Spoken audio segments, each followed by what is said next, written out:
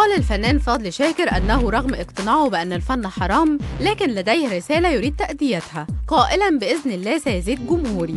وأضاف في اتصال بقناة MTV لا السلفيين ولا غيرهم لهم علاقة بموضوع غنائي رغم أني أؤيدهم. بحسب ما ذكرت مجلة سيدة الثلاثاء 7 مارس. وعلق فضل على التظاهرة الأخيرة التي شارك فيها في بيروت بالقول كانت حضارية والسلفيون جماعة حضاريين ومسلمين ويخافون الله. وقال شاكر أنا مصر على الغناء من جديد ولن أبتعد عن الفن.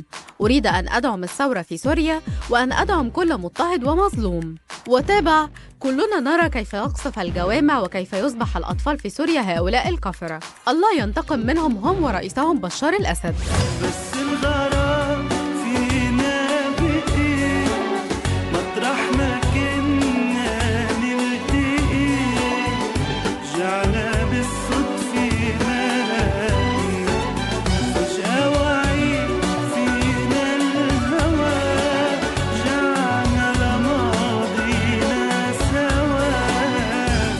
رجعنا بالماضي احترقنا وافترقنا وافترقنا. آه افترقنا يوم اللي بعدنا احترقنا وافترقنا. وكان الليل